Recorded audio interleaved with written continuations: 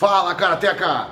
Aqui é André Marasquim e nesse vídeo nós vamos falar os segredos para chutar bem no Karatê. No Karatê e em qualquer arte marcial, mas eu sou especialista em chutes de Karatê. E eu, eu vou falar para você com propriedade, porque na minha carreira como lutador de Karatê, como atleta, eu fiz muitos chutes. Na, no Shiai Comitê eu fiz muitos ipons. Eu, eu acho que eu nunca saí de um campeonato sem ter feito alguns ipons com chute. E já fiz algumas lutas de contato e posso garantir que saiu nocaute com chute. Tenho propriedade para falar do assunto, treino muito chute. Esse é o primeiro segredo. Você tem que treinar muito. Você nunca vai fazer alguma coisa que você não treina.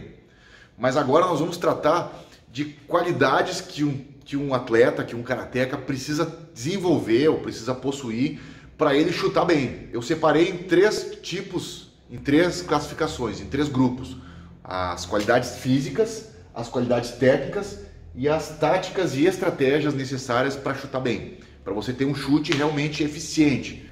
Vamos começar com as qualidades físicas então. Vamos lá. Para chutar bem, você tem que ter força e velocidade. É o primeiro, é a primeira qualidade necessária. Flexibilidade, sim, você tem que ter muita flexibilidade e a flexibilidade é diferente de só fazer aquele alongamento básico você tem que fazer um trabalho intenso, um trabalho sério de flexibilidade, coordenação motora, equilíbrio e outras características que você vai adquirir com o treinamento. Sem treinamento não tem resultado. Características técnicas. Presta bem atenção agora. Você tem que ter conhecimento, é o que você está aprendendo agora. Você tem que conhecer a maneira de chutar. E eu estou gravando um curso de treinamento para chutar. As qualidades técnicas que o atleta precisa conhecer, o professor, o aluno, de como chutar, de como colocar o joelho na posição correta, como colocar a perna, as variações dos tipos de chutes. Então você tem que ter conhecimento. Sem isso, você simplesmente vai levantar a perna de qualquer jeito e não vai acertar o alvo. Você tem que ter precisão, desenvolver a precisão técnica. E a precisão se confunde com característica física porque ela, na verdade, é uma coordenação motora fina. Você também vai adquirir precisão praticando, treinando. Você tem que ter ajuste de distância. Isso é imprescindível para qualquer golpe, tanto golpe de braço quanto chutes. É muito fácil você perceber numa competição onde tem um atleta iniciante lutando contra um atleta experiente, que aquele atleta iniciante ele vai chutar fora da distância, muito longe, ou ele vai chutar muito perto e também vai errar o chute. Então o trabalho de distância ele é imprescindível para você conseguir acertar o alvo, né? acertar o seu adversário. Combinação de chutes, nós já estamos quase entrando na parte estratégica e tática aqui, mas existem combinações de chutes que precisam ser treinadas se você quiser realmente ter eficiência. E como tática e estratégia, nós vamos colocar aqui as situações de luta na qual você vai aprender a fazer fintas quais as fintas que se encaixam melhor, e também a, a questão de DA e contra-ataque, oportunidade. O que, que seria oportunidade? Você não chuta quando você quer na luta, a não ser que você seja muito ninja ou o teu adversário seja muito inferior, aí você está lutando e diz, ah, agora eu vou chutar um Mawashi, vai lá e pum, na cabeça dele. Contra o atleta iniciante, perfeito, mas falando dois, dois competidores com o mesmo nível técnico, você só vai conseguir acertar o alvo quando tiver a oportunidade.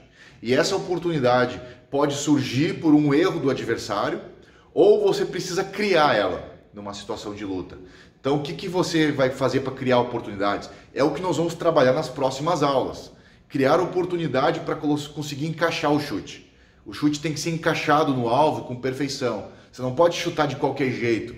Não pode só soltar a perna.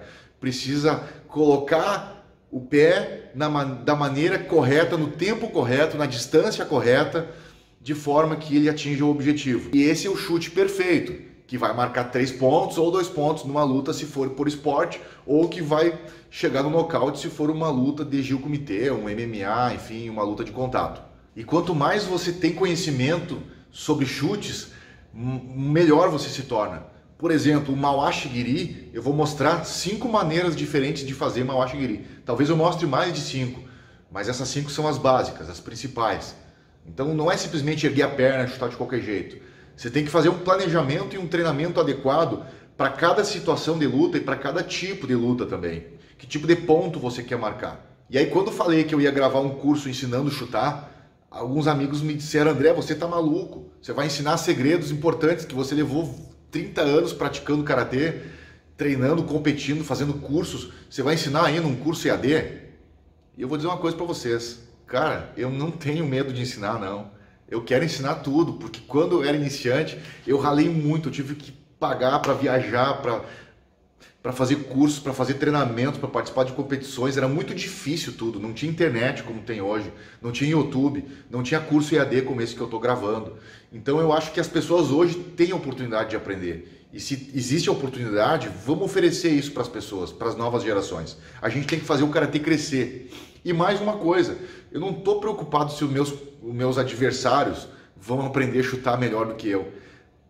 Porque o principal do, não é só você saber, você ter conhecimento.